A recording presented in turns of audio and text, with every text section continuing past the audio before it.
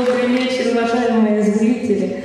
Я очень рада видеть вас всех в этом зале и очень надеюсь, что мой концерт принесет вам много новых впечатлений и много приятных минут.